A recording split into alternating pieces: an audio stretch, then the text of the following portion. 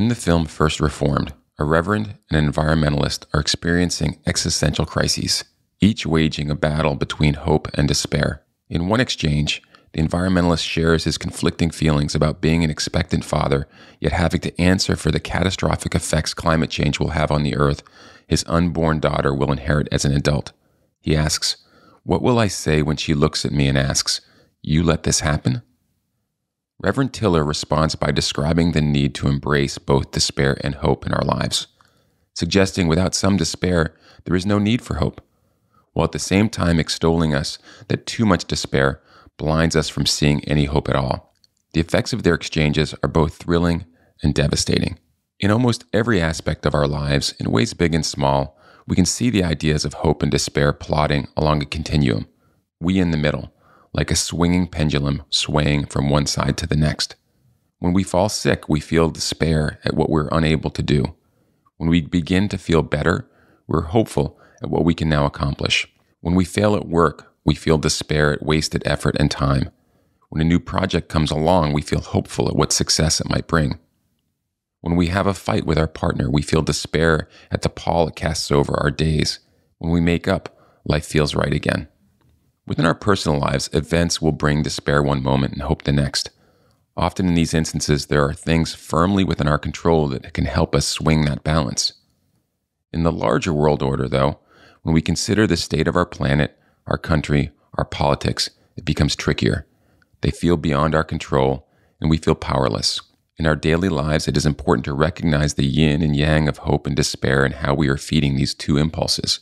How much time do you spend mired in the daily news of doom and gloom? How many conversations you're having with Eeyore like friends?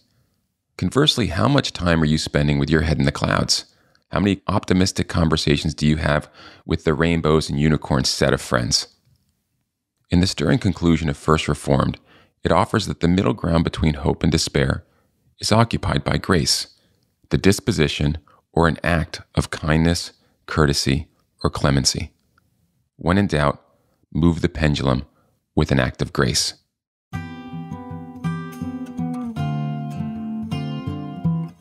I'm Bob McKinnon, and you're listening to Attribution, where people from all walks of life reflect on who and what has contributed to where they ended up. Our hope is after each episode, you feel a little more inspired, grateful, or supported than when you first hit play. Today I'm talking with the Reverend Dr. Esau McCaulley. He's an assistant professor of New Testament at Wheaton College and author of Reading While Black African American Biblical Interpretation as an Exercise in Hope. This was a moving and provocative conversation that could have gone on for hours as we discussed issues of struggle, poverty, race, and faith. I learned a lot, and I hope you will too. Enjoy. I was really looking forward to this conversation to begin with after reading your New York Times piece and reaching out, and was thrilled that you would uh, join us. And preparing last night, I was listening to some other things that you had done, and I just wanted to thank you for the education you gave me. You were you were delivering a lecture, uh, and you uh, it was a lecture in which you gave a history of the white church in ten minutes and a history of the black experience in church in thirty, and. Uh, and even though it's not your responsibility to teach, uh, as you mentioned before, I, I, was really humbled by what you had to say and learned a tremendous amount. So thank you for that. I appreciate that. It's really weird to have stuff on the internet because you never know when people are going to find out when they Google. So I'm glad you liked what you found. Again, what originally drew me to your work uh, was I picked up the paper one morning and I saw this piece and it says, How do I, I think the title was, I grew up poor. How do I raise middle class kids? Yes. And I was like, Yeah, I, I want to know that because I've been, I've been struggling with similar uh, quandaries. And I was so drawn to your writing and how forthright and vulnerable you were and sharing your personal experience. So, one, I appreciate that.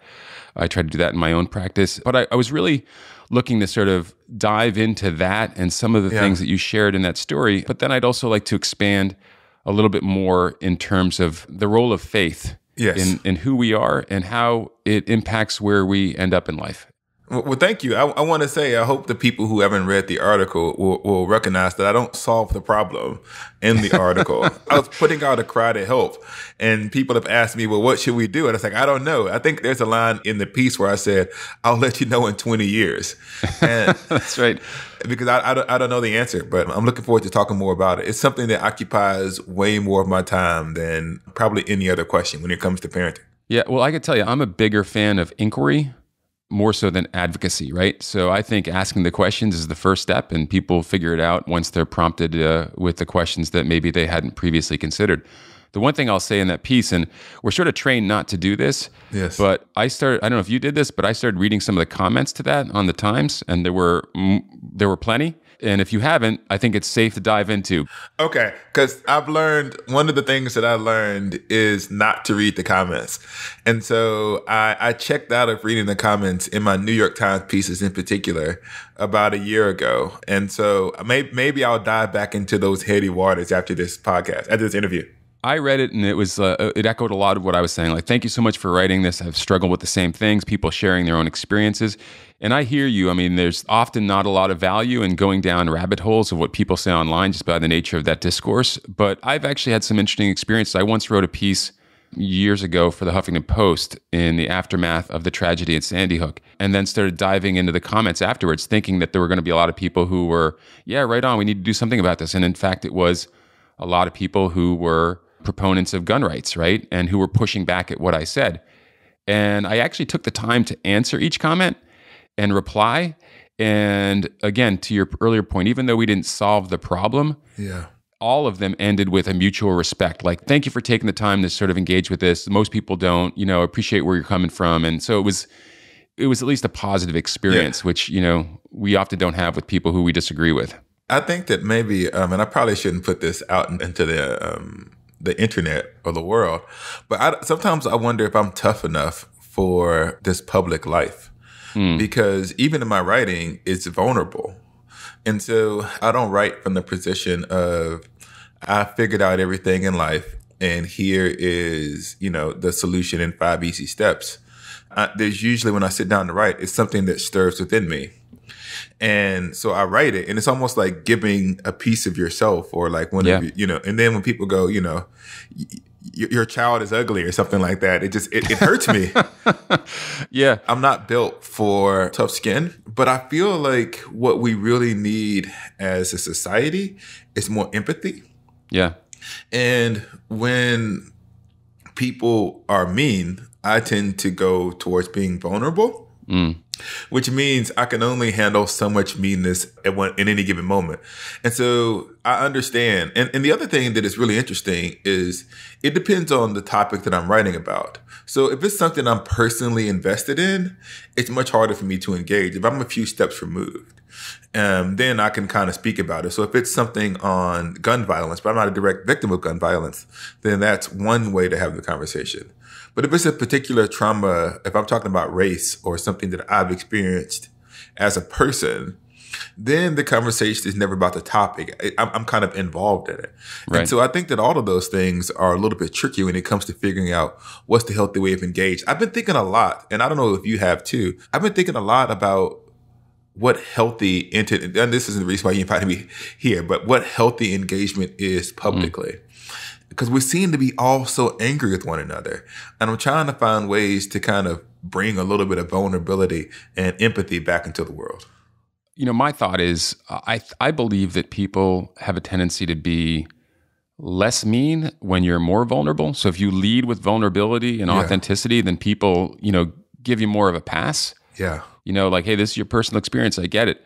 The other thing too is I don't think there's enough of it, right? So we try to we act tough, you know, we act like we have the answers and I know that when I walk into classrooms and I talk with students and I share sort of my stories of how I grew up, I see how much it's appreciated because it creates an environment where they feel safer to share their experiences. And then once they share what their struggles may have been, you're able to better engage them you know, in this capacity as a teacher or professor, than had you just made assumptions about who they were. So I think the more in which you can create environments where anyone feels comfortable sharing their lived experience, uh, yeah. regardless of what that is, But I hear you too. I mean, I, I don't like to get dinged or criticized like the next guy, especially when it's something about yourself, yeah. right? One of the interesting things, and one of the things I'm really grateful for to the editors of the New York Times, I write a column about once a month. And when they first started asking me to do it, I thought I had to make these big swings. Mm. So, in other words, I thought I had to talk about whatever was happening in the news cycle or some big national global event. And I found myself being drawn to like the much smaller stories. Yeah. So there's the piece that we're talking about now, but there's also, you know, my wife was in the military and she got deployed for six months during the middle of the pandemic. And I talked about raising my children there. I've, I've written about taking my son just to baseball practice during the course of the pandemic. And I really, I've really been grateful for my editors and the people at the Times for giving me space just to sit back and write about what it means to actually just live a life and to lead with my own vulnerabilities. Mm. And the fact that I, I am rarely, even in matters of faith, telling people like what they must do. I'm yeah. talking about how these things impact me. And so my writing style is if um, the voice that I found over the last couple of years really is someone who's just trying to make sense of life as it appears to him. Yeah, I think it performs incredible service because again, I think that at least with some of the pieces I've read of yours, there's a there's a universal element to it, or certainly enough something that other people can relate to. And again, you're posing questions that maybe they haven't, you know, uh, fully considered. And yeah. you know, in doing so, I think it's a real, you know, act of uh, of generosity. Oh well, thank you. I appreciate that. I, I, I really do. It's it's always you, you know, sometimes the entirety the entirety of a piece grows out of a sentence. Mm. And I'll get an idea that comes to my mind. And I'll I will spend and I, and I hate to say this to the to the reader, I'll spend fifteen hundred or twelve hundred words finding a reason to kind of build around this sentence. And the idea that was at the heart of the piece was um, I wish I could give, I, I, don't want my kids to suffer what I suffered, but I wish that I could give them the feeling. Yeah. And there's this feeling that I find myself always trying to communicate to my children of hunger or desire or maybe um, grit. And that grit was created through suffering. And I'm sure there must be another way to get grit because people get grit without suffering. Um, people who've grown up with many resources are hard workers, but that's how I know how to get how to get it. And so all that I had in my my head at the beginning of this piece is, how do you give that feeling to children without making them go through what you went through because you know that everybody who you went, who went through what you went through didn't get there. Right. And so that was that was basically it. That was that was the overarching question, and it's such a non-news cycle idea. If, if I can also confess some things, it was initially not even about Thanksgiving. Right. It was initially just about this piece. And then they said, well, Thanksgiving is coming up. Can you rewrite it and, and put it in a Thanksgiving context? Because um, the holidays are coming up, and we think that a lot of people will be with their families during the season. And that was a great suggestion by my editor, and it ended up coming out right on Thanksgiving. And so it was it was just really wanting to have that. And I've been surprised by how many people have that exact same question. What do I do with these kids?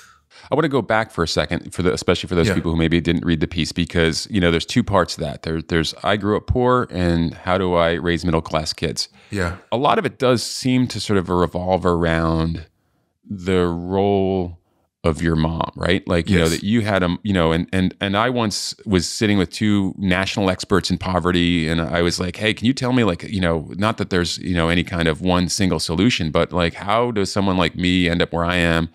You know, versus a lot of other kids? Is there anything you, and they both, it was like, you know, oh, you know, when someone says something at the same time and they say, you owe me a Coke, they both said a buffer. And it was yeah. this notion of a single adult who helped you sort of make sense of all the difficulty around you. And so I, I wonder if you could just speak a little bit about, you know, where you grew up, what it was like, and then your the role of your mom at that point, and what that what you still carry f- from her with you as you uh, as you move forward. Yeah, I think that it's really hard to talk about poverty because you can talk about the fast, the fantastic elements of it. So I grew up in an urban black area in um, Huntsville, Alabama during the like 80s and the 90s. The height of the crack crack epidemic. And so on one level, people see that and they think about all the movies that they saw, maybe Boyz n the Hood and those kinds of things. But what I try to say is that it wasn't dangerous all of the time. So like 90% of the time I felt safe. But you know, maybe once every six months, I thought I was in a place where my life could be in danger because of this the location I was in. And so it was more of heightened awareness.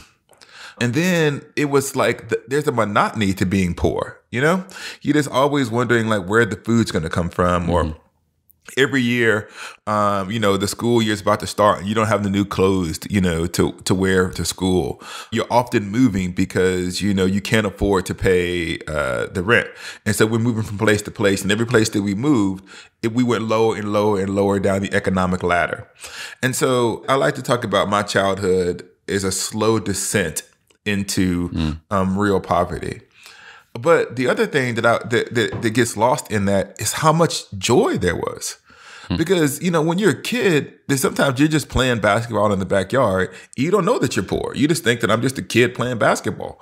And so it's hard to capture the complexity of that life and not turn yourself into a Horatio Alger.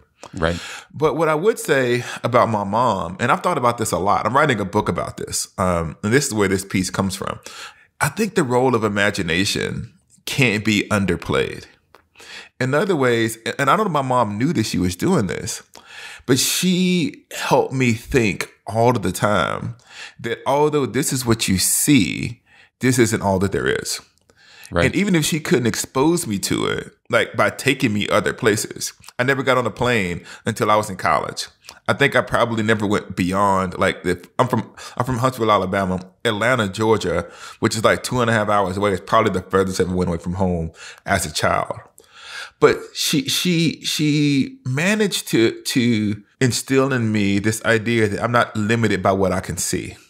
And mm. maybe this is the role that faith plays in it. That like, you know, that although all of these things seem to be stacked against you, but, you know, historically, my ancestors were enslaved and they prayed to God and God liberated them.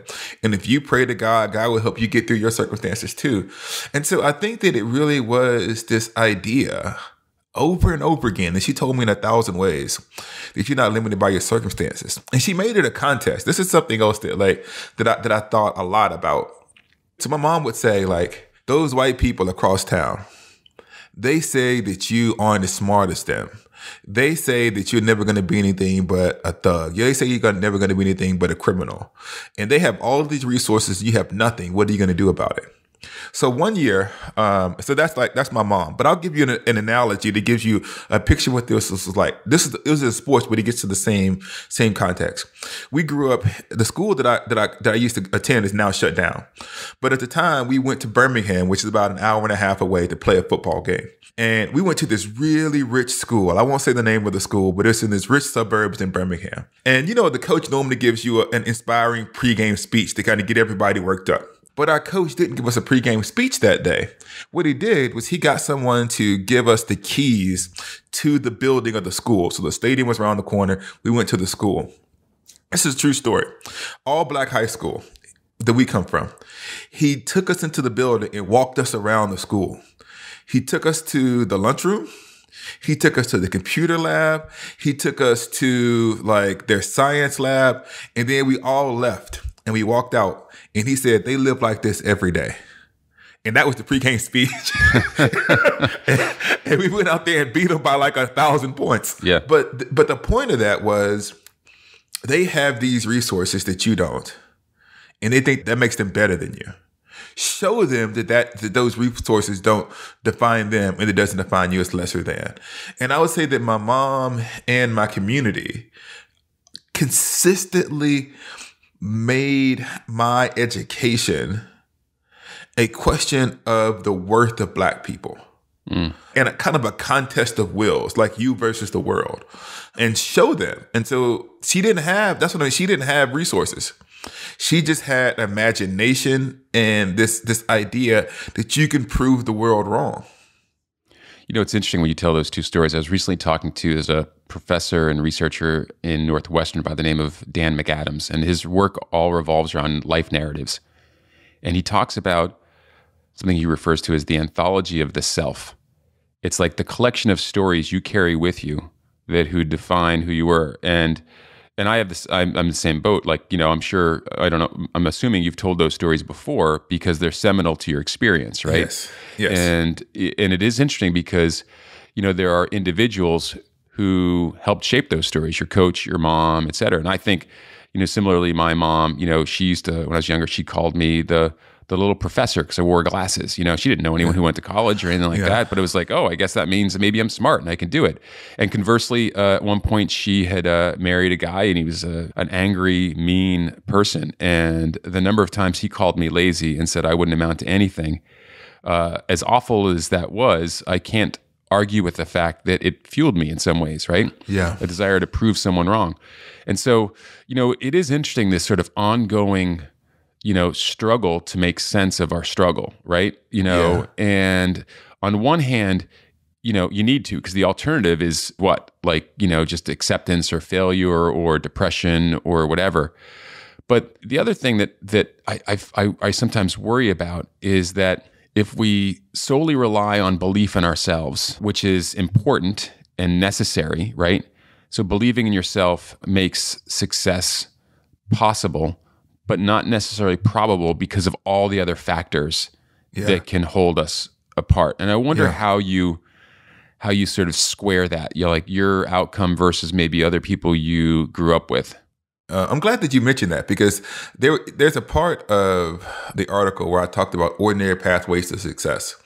One of the things that was interesting to me when I got to college was how many ordinary people that I found there.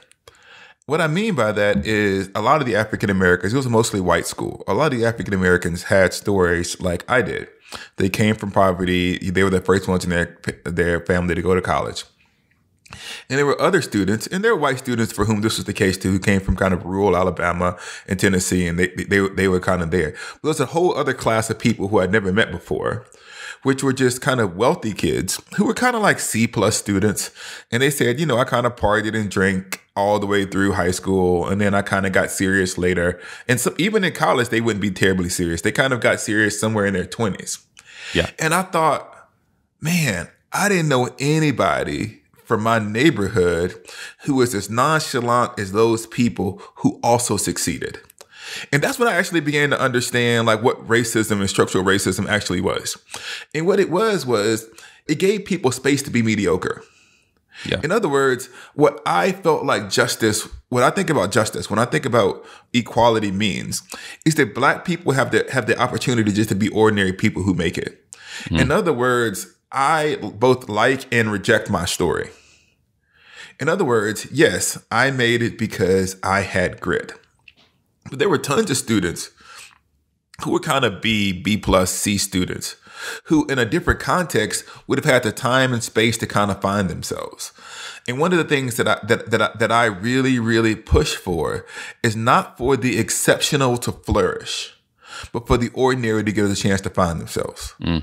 And I think I say that that justice is like having ordinary pathway to success because I think that as long as the African American stories in particular are the pull yourself up by your bootstrap stories. It can sometimes reinstantiate the narrative or, or, or the, the picture that this is what it ought to take to succeed in society. And I don't think that's the case.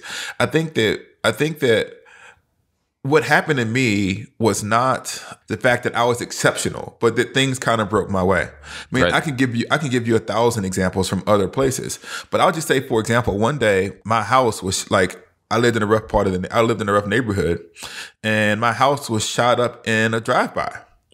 And I was sitting kind of playing video games on my like Nintendo.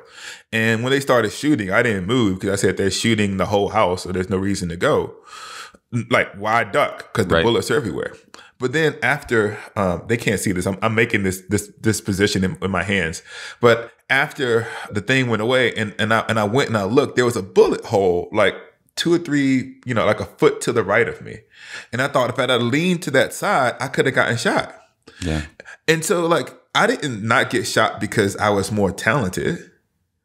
I didn't get shot because I was blessed that not to miss the bullet and so well, then what is justice? What is what is what is equality? What does the future look like? Like someone who just misses the bullet. Another story that happened to me is one time I was taking an advanced class.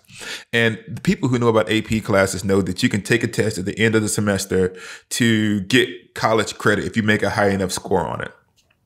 But I didn't have any money to take the test. So I had taken the class, but I couldn't afford to take the test. And my teacher decided that she was going to pay for the test. And she paid for it. She said, she said, Esau, I'll pay for it. You just come to all of the study sessions. She paid for the test. She went, to, I went to all of the study sessions. And then when I passed, I never forget, you talk about the stories that define us.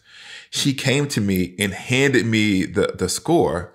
And, you know, I opened it up and I saw the thing. And she says, you have college credit. You can do it. You can, and I was a junior at the time. Yeah. You can go to college.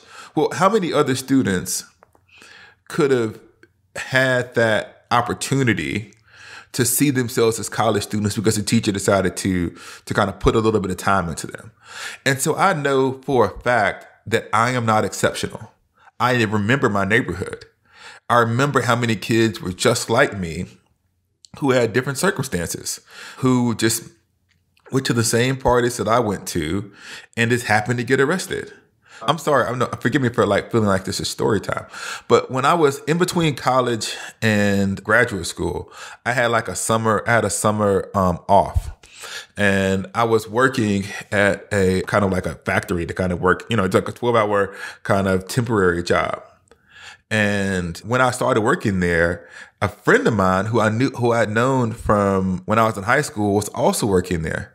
But the difference is he had just gotten out of jail and I just graduated from college. And I was spending, you know, those couple of months making some money before I went to graduate school, and he was kind of restarting his life. But that that that student there was not radically different from me in forms in terms of talent. He just had some circumstances kind of not go his way, and he found himself in the legal system. And so I understand clearly how haphazard life is, and had I made a different decision here or there, my life could have been radically different. Yeah, you know, it's interesting. Uh, you make the, you know, the comment that you're not exceptional, right? And I know what you mean by the intention of that. Like you inherently are not exceptional, but your story and the outcome is the exception relative to the rule in terms just to, if, I'm sure you know you've looked Yeah. at this the percentages in terms of your likelihood if you're born in poverty to move up you know one or two ladders on the rung and it's not it's not great and going back to the article it resonated so much because so many details of your story uh, were you know things that I had experienced. So I I experienced both urban and rural poverty. So I grew up in Chelsea, Massachusetts. You know, over the Tobin Bridge in Boston. Then my family moved, um, or my mom moved us to uh, rural Pennsylvania, where we lived in a trailer park.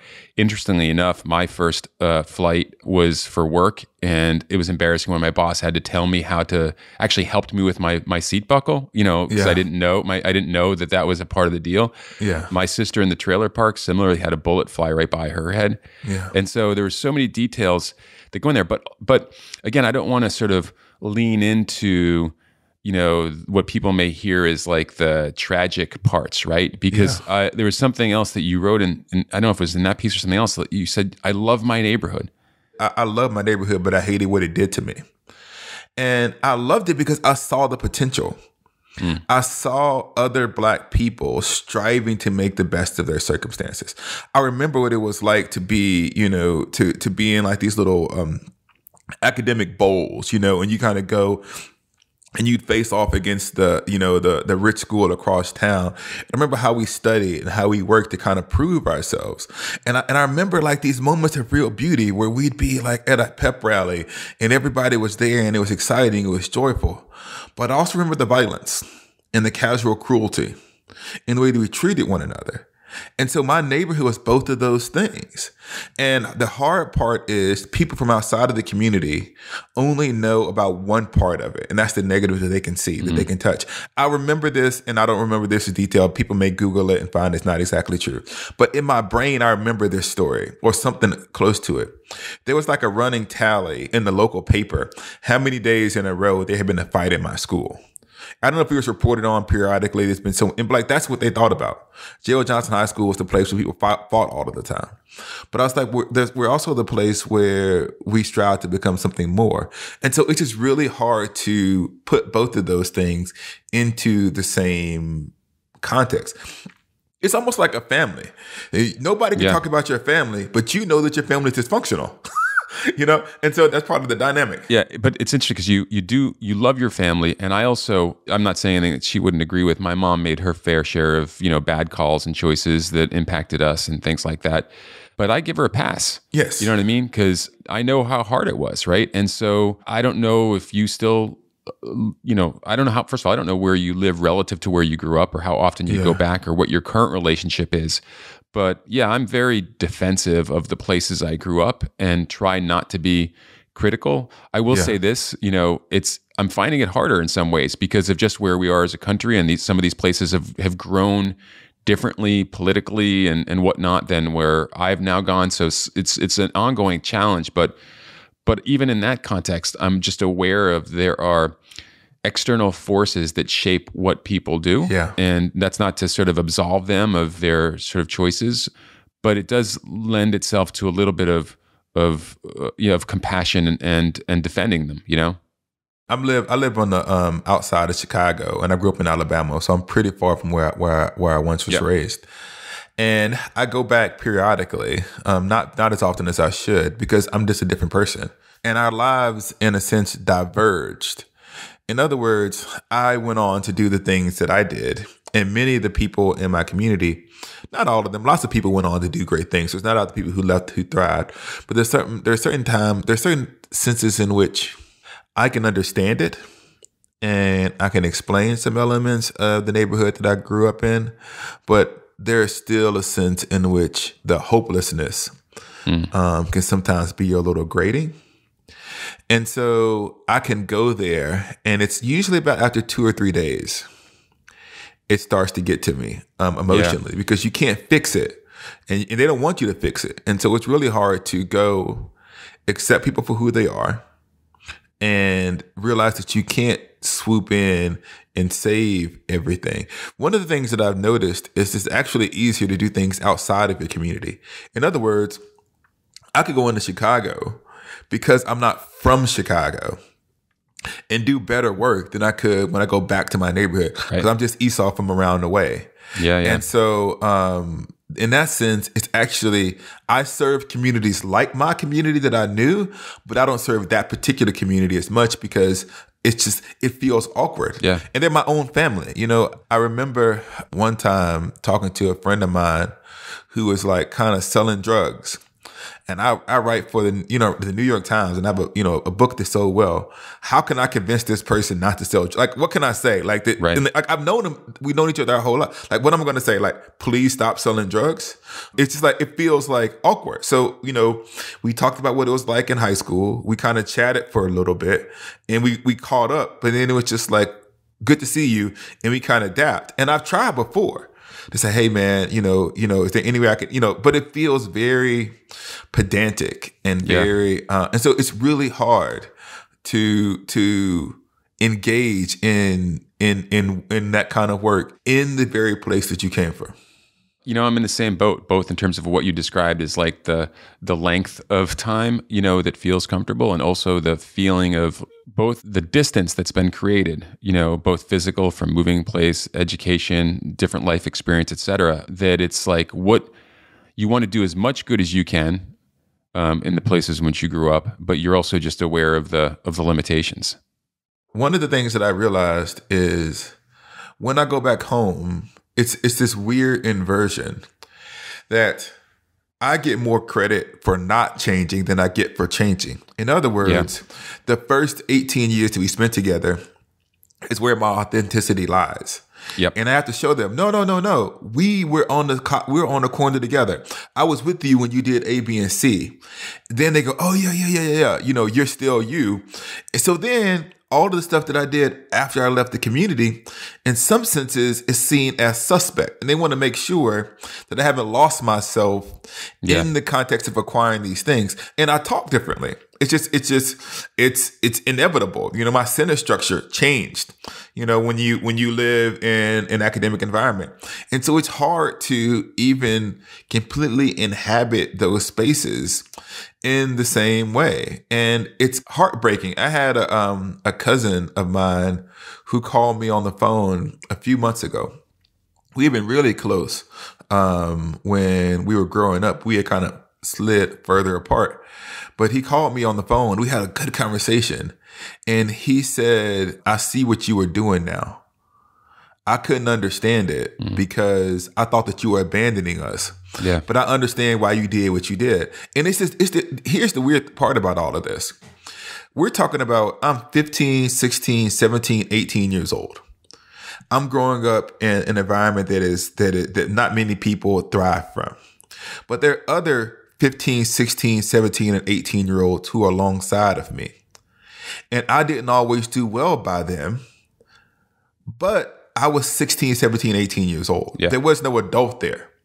And so you're now, you now get to this place where, you know, I'm, I'm in my 40s and I realize, wow, when I was doing this, I could have turned to my cousin and said, Hey, you should make this move. But I didn't know that. Right. And so by the time I did figure it out, it was too late.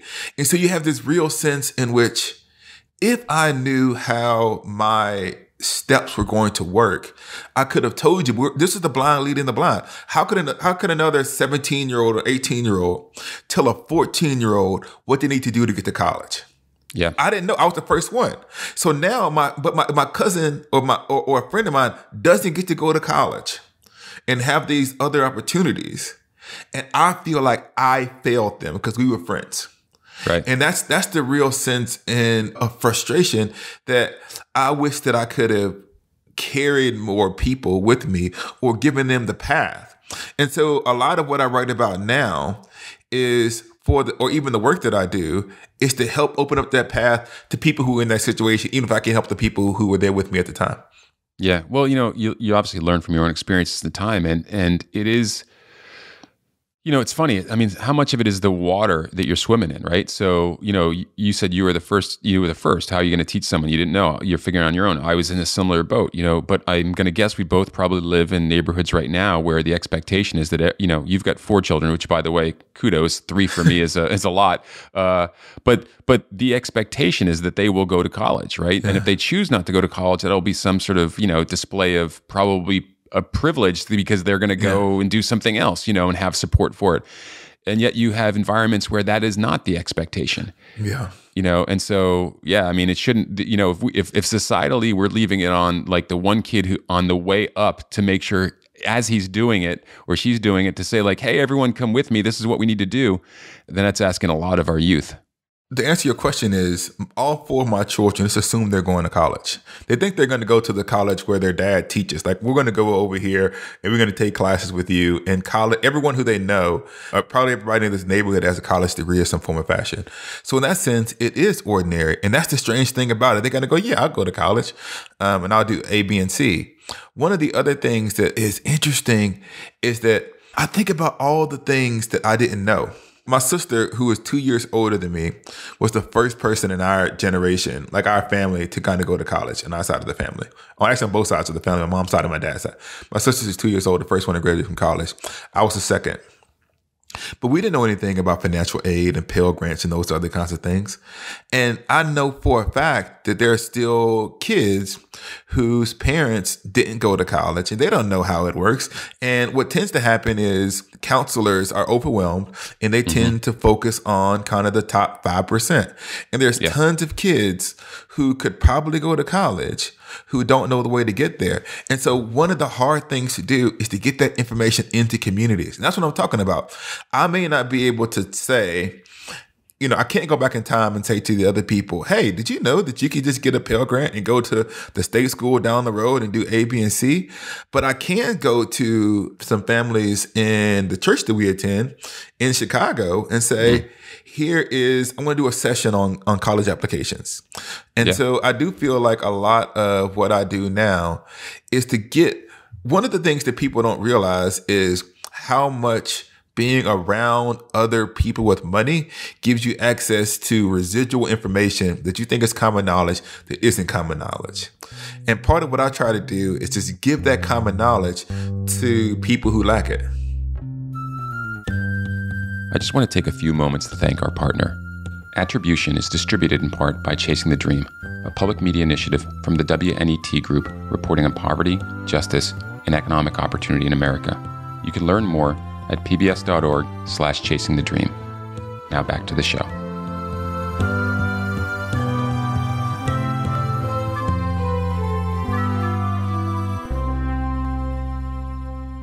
It's interesting because, you know, depending upon how you grew up, you have common knowledge within your community that's different from others. So, like, I wondered when you wrote in that piece the phrase government cheese, Yeah. how many readers knew what you were talking about? and I and I did. I remember these giant blocks. Like I, I'm assuming the same. that You got these giant blocks of cheese. You know, everyone else is. You know, people are talking about like Kraft Singles or like things you would slice fresh at the deli, and I'm like, what is that? And it's like, no, these giant blocks of cheese. Yes. And and to me, what's interesting about that is that you know I didn't think about it at the time. I did, I don't know if I felt.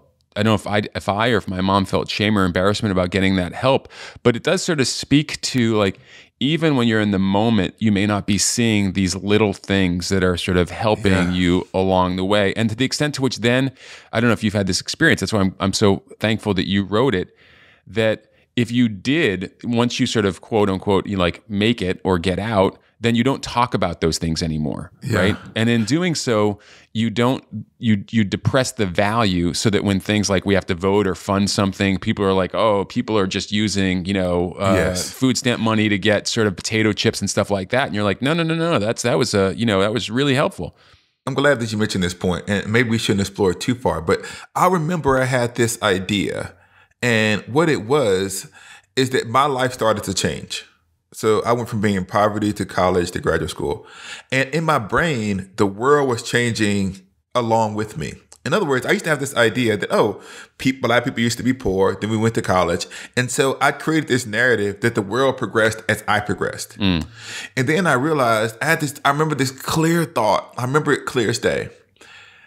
Just because the world is changing for me, it doesn't mean it's changing for everyone. Yeah, And the things that I needed so that I could survive long enough for my world to change, people who are in my situation need those same things as well. And I think you're correct that too often we get to where we get to because of the help of other people, and we then eliminate those things from our narrative and we center ourselves.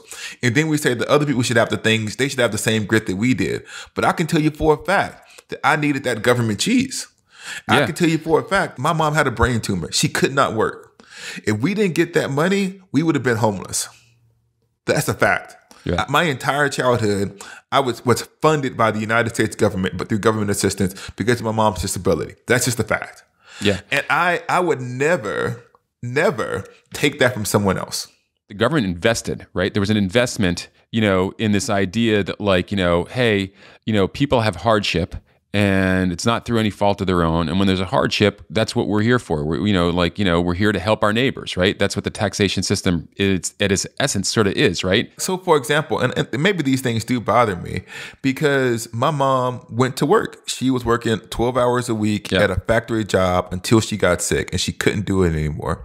And she used that money to buy our food and our clothes. And if once a year, she bought me a video game. I remember these things like the welfare moms, the welfare Yeah. queens when I was a kid. Like, God forbid that my mom you know, every now and then took us out to McDonald's. Or my mom bought me a video game that was strictly not on budget during Christmas. And, and what I'm saying is that sometimes we try to suck all of the joy out of poverty as if this is Right. what's going to make these kids work even harder. Let's Yeah. limit the ways they can spend this money because otherwise they'll waste it. I want to I want to pivot to a question of faith, and I'm going to lead with my own story uh, myself, and I, hopefully I, I don't sort of drag it on too long. But years ago, I was at a conference, and I was on this really fascinating panel where it was myself, a CIA agent, and uh, a, a member of the clergy. Sounds like a bad joke, right? Yeah, no, that sounds and great. so and so I had just gone through, I was talking about sort of my own journey and how I was always sort of wondering and sort of plagued by someone had asked the question in the audience. And I was like, well, I'm always been sort of like trying to figure out like, how did I end up here? You know, what was it? You know, what, how did I end up where I am versus these other places? And I talked about, you know, the, the, the role that my mom played in protecting me, but I also talked about scholarships and Pell Grants and, and, and federal assistance and, and mentors and teachers and stuff like that.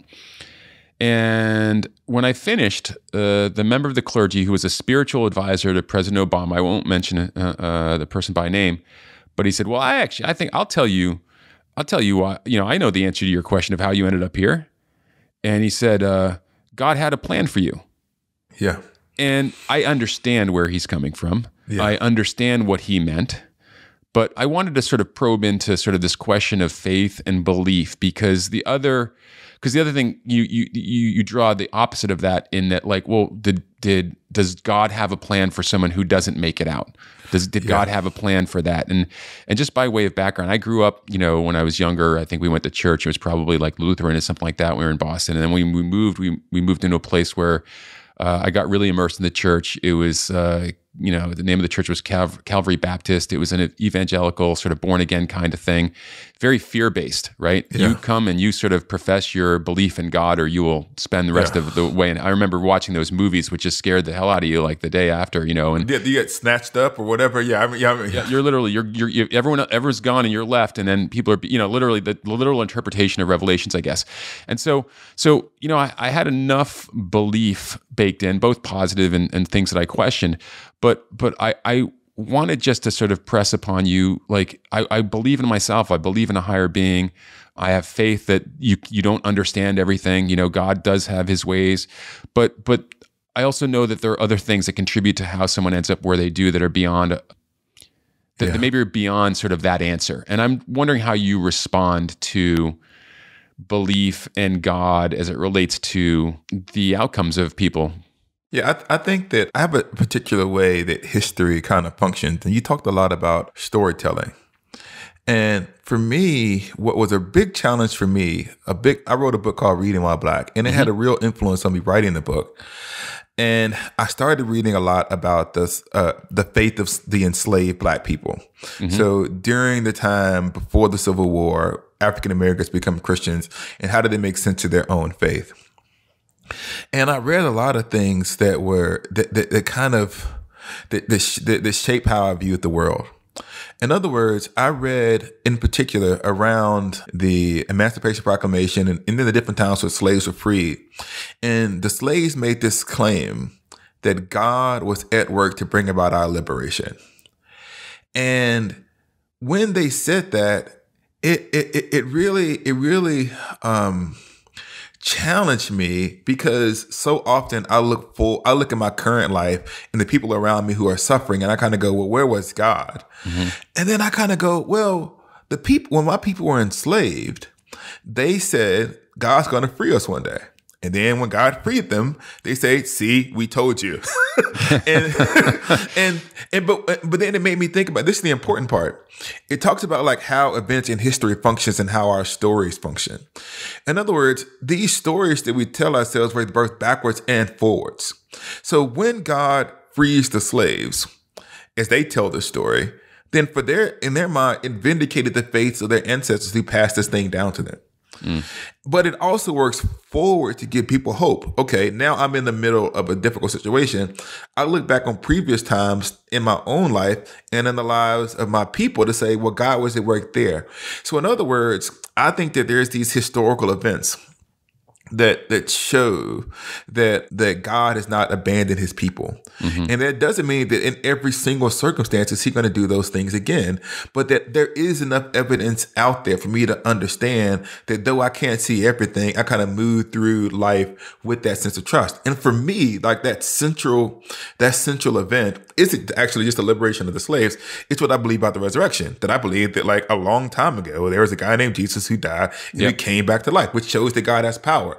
And so these these kinds of events where God shows himself were never meant to be this is what you get every single time. Right. But it's meant to be that you're not abandoned. I think that's kind of how love is, right? You have these events where you kind of say, We've had this experience together, and this experience together cements us and it helps us through these dark times. So that when you and your spouse, you or your partner, whoever it is, you're going through these things, you gotta, I remember. Yeah. I remember. Now, one of the things that happens, and this is this is what I think is the difficult part, and this is the this is the mystery of faith. Sometimes things happen in your life that are so difficult that it causes you to relitigate your past. In other words, something happens in the present that is so bad, you kind of reconsider what you thought. Oh man, I really thought this was true, but in light of this new circumstance, like I can no longer believe. So maybe I had faith in God, but this really bad thing happened to me and now I have to reconsider it. And what I would say to me is, for me, that event that's kind of broken my spirituality has never it's actually occurred, but yeah. it's been re, it's been it's been restored time and time again. And it's almost like at this point, me and God are stuck with one another. I just can't I can't quit him. right. and and even when it would be easier. I mean, it's like yeah. I think the people and I know you don't want to you don't want to homilize here, but it's not like that like faith solves every problem. In a lot of ways, faith makes things more complicated. But it's just it's how I feel a real sense of responsibility to my aunt, to like my the, the black people who came before me. Like they said these things, and I feel like I believe their testimony. Like I believe the testimony of Martin Luther King, who was inspired by faith to change America, and he said I can change it, and he did. Yeah. And so those those those are the kinds of things that I think help me make my way through life. Well, it's interesting because it's the way you describe it in terms of like you know faith, and I'm paraphrasing here, so correct me if I'm missing what you were saying, but it's this notion that you know, looking back, faith can provide meaning because we see yeah. the, the stories can make more sense to us, and looking forward, it can provide us hope. And I guess what I'm speaking to is the ways in which, and I don't want to get overly political yeah. here, but the ways in which faith can be used as as an excuse or a reason, right? Yes. And so I, I take, you know, I going into the elections, I had numerous discussions with people who yeah. are evangelical and they were voting yeah. in a way that I thought was not consistent with a lot of Christian beliefs in terms of yes. helping the poor. You can read between the lines here, but but but I also see it in terms of people who are opting not to vaccinate because they'll say, "Well, if God thinks it's my time, then it's my yeah. time." Right? I could say something about yeah. that. I, I don't want to. Make, you don't have to ask the question. I'll answer it. One of the things is there's been, and one one way to look at American history is to look at it as like a two thousand a two hundred and fifty year theological debate especially as relates to the faith of African Americans and the faith of kind of oftentimes um, the majority of the Christian community. And we have always seen these it's, it's all about like where you put the emphasis on these narratives so in the african american tradition the exodus narrative has always been paradigmatic god is the god who sees the oppressed reaches out and he liberates them. And so God, as the one who cares about the stepped on people, is what black Christians had. So we didn't have any political power. We couldn't vote. We, we, we didn't have any land. All we could say to the majority of America was like, God opposes what you're doing to us. And so in the African American Christian tradition, there's always been this sense in which God cares about the disinherited. But there's always been another Christian tradition that also existed at the same time in America, where religion was used to acquire power and to hoard power and to step on the hurting people of the world. That's the reason why you have the abolitionist movement and you have the pro-slavery movement, both of whom claim God as mm-hmm. their source. You had the exact same thing happen in the civil rights movement. The civil rights movement was a fundamentally Christian activity. There were there were Jews who were involved. There were um, atheists who were involved, but the Southern Christian Leadership Council, led by Martin Luther King, were, were largely black clergy who said. God wants us to have equal rights. And the sad part about that is a lot of the people who opposed it were also clergy. So the famous, the famous letter to a Birmingham jail was written from Martin Luther King in jail to white clergy. And so there always has been this tension in American politics between people who use religion to acquire power and then use that power to make themselves wealthy. And there's always been a strand of the church from Frederick Douglass and Sojourner Truth to Martin Luther King to the present day who said the way in which you're using that Christianity to do these things bears false witness about God. And I would say that um, that's just the nature of kind of the political and religious world in which we inhabit. And, and it is the case that sometimes religion has been used poorly to justify the oppression of other people. But what I want to say is if, if religion was used to build it, it can also be used to tear down those kinds of ways of being in the world. That's kind of how I make sense of that. You know, as you say that, and again, reflecting upon the lecture I watched of yours last night, I am such a huge fan and proponent of origin stories, like trying to understand where something came from. You know, the whole idea of this podcast, attribution, is like uh, trying to understand what do we attribute our outcomes to. And, you know, I have to be honest with you, like I had, you know, I've been to different churches of different denominations and you try to figure out what's the difference here versus there and you you basically sometimes it comes down to sort of like uh, you know a definition by or distinction by traditions. You know, like they do this here, they do that there in terms of what's actually happening in the service. But to me, what was really fascinating in hearing your answer there and, and listening to your previous lecture was just all of these things have an origin right? Yeah. And also those origins, different people are telling stories about that origin that may be true. And I just wonder, like, I don't think we spend a lot of time. Maybe we spend some time investigating our own faith, like what we believe in. I don't think there's a lot of comparative, like, you know, where did Yeah. this come from or how is it different from somewhere else? Because, you know, listening to you talk about this makes me understand and appreciate and interrogate my own faith more and also understand, you know, where others are coming from. when Christianity comes to black people and we are enslaved, slavery isn't a moral issue in, in the abstract, it's a legal issue. It's inscribed in law. The first question that the black Christian has to answer is Does God will my slavery or does he will my freedom? And the black Christian says, as a whole, God wills my freedom. And if God wills my freedom, that immediately brings me into conflict with the state. So black Christianity was from the beginning, from its inception in America, inextricably political and religious. Now, if at the exact same time there's a largely white Christian audience who say God wills your slavery and he wants you as the underclass, then there's a version of Christianity that is rooted in maintaining power and the status quo. And these two forms of Christianity have been in basically perpetual conflict since that moment. And the amazing thing about it is, and I don't want to valorize it too much, both of those things existed in the same space. In other words, in the African American Christian tradition, there was still the personal transformation. There was still the life with God that many people had. One of the interesting things about this, and this is what I talk about my neighborhood, we there was a structural problem, right? There was the, the the things that were going on above our head, redlining things. But then there was the personal integrity problem, the things that we did to one another, the ways that we harm one another. And both of those things were problems in my neighborhood.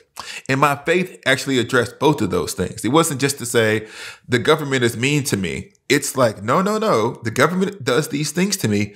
But Esau, you sometimes participate in the harm that you do to other people. And you have to really consider how your life impacts others. And both of those things, I think, come from an African American Christian tradition that had to make sense of itself in the context of both legal oppression and the need for personal transformation.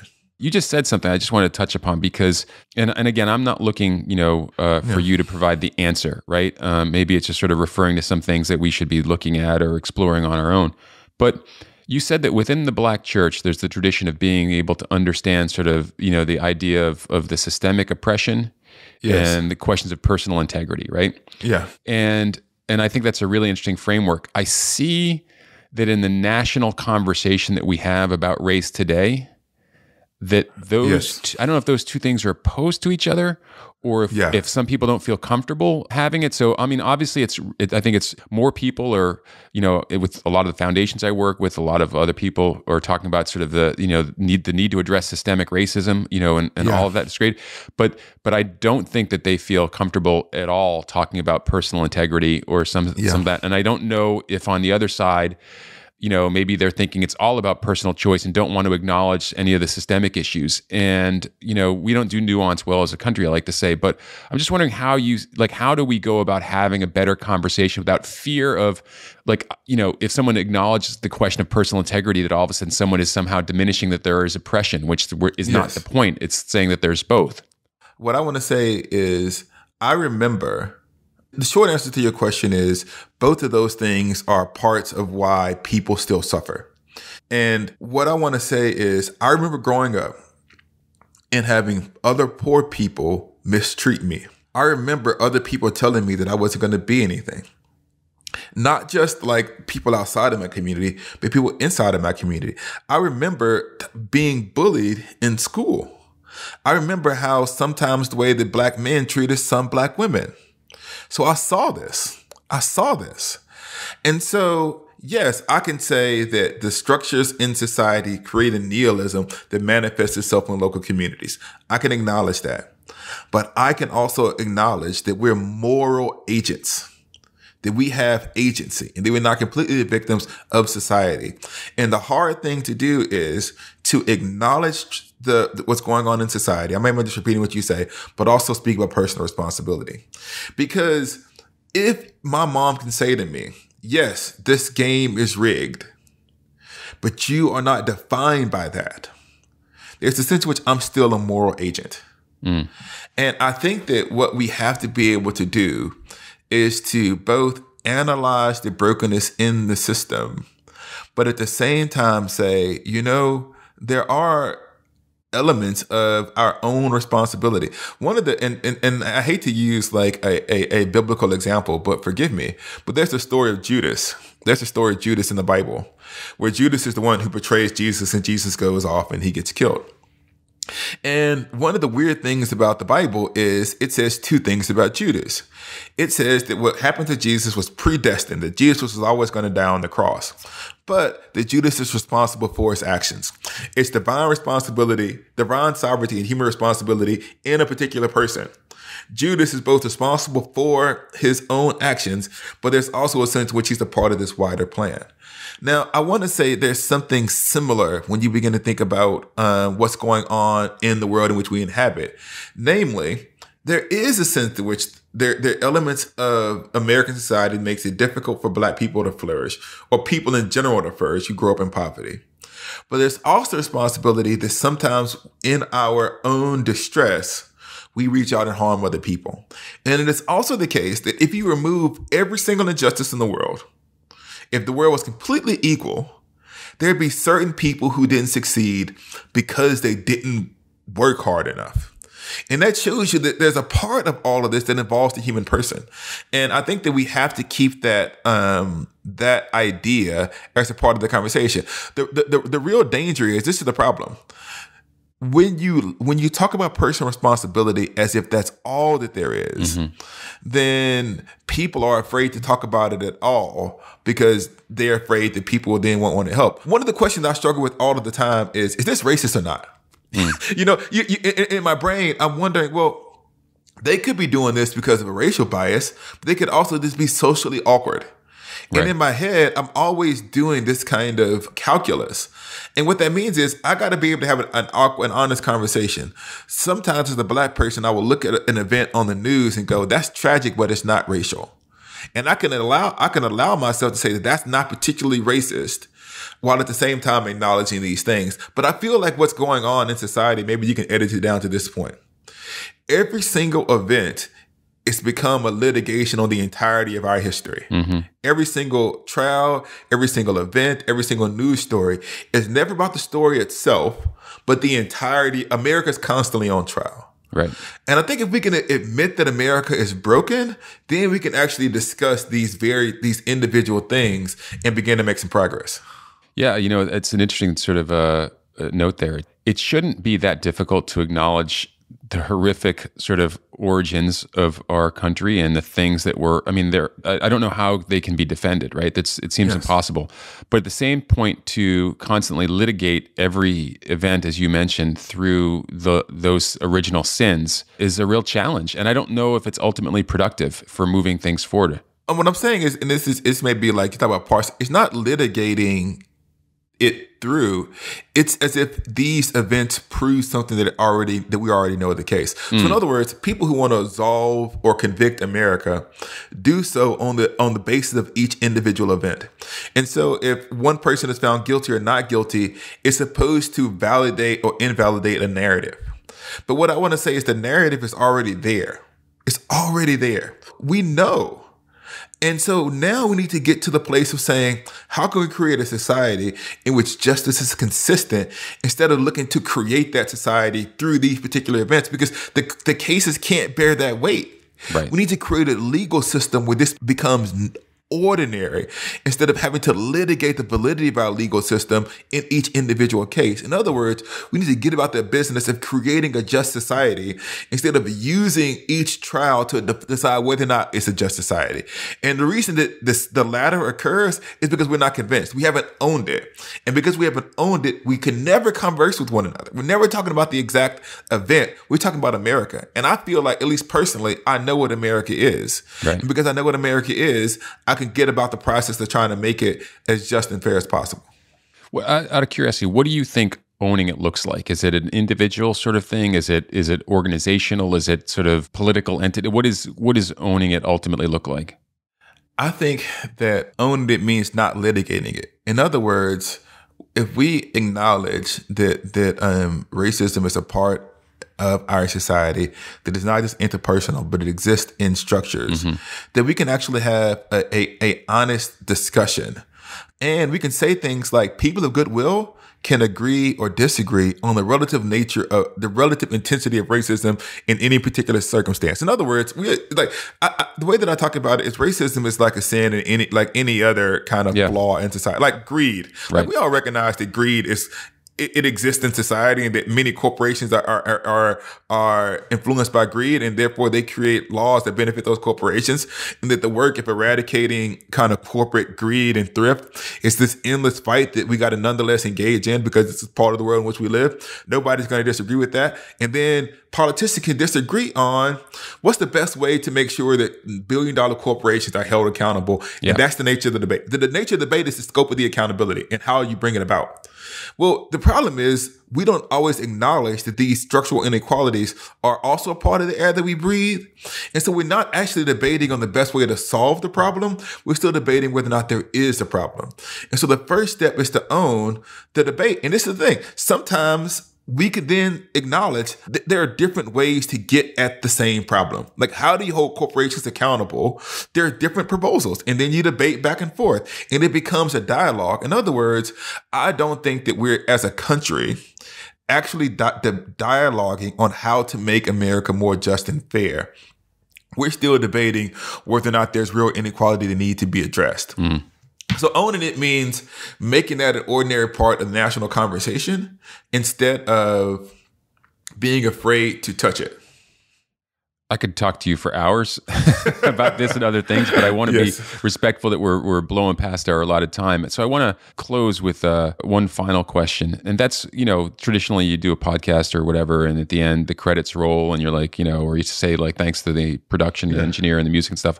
I, I like to cede some of that time to the guest to offer up credits of their own who they'd yeah. like to give credit for. It could be for who you are today. It could be of a recent accomplishment. But, you know, as we said before with the, the teacher, Susan, you mentioned, I just think there's such power in terms of just taking opportunities to say thanks to someone. And so uh, yeah. put you on the spot here, but uh, I was wondering if you, if there's anyone you'd like to, to give a quick sort of shout out. Yeah, I would like to thank the first of all, uh, my wife. She was one of those people who bet on me when it didn't seem like the best bet in college. So I'm always grateful to her. I would not be able to be where I am without my wife. And obviously, my kids, those four kids, exhaust me. They're also a tremendous source of joy.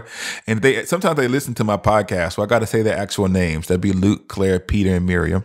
More recently, I want to thank my pastor. I attend Progressive Baptist Church in Chicago, Charlie Dates. He, he, we've been there for the last six months, and it's been a real source of joy and healing to my family. These are recent people. A friend of mine named Justin Giboney and Watson Jones. They've just been real sources of counsel.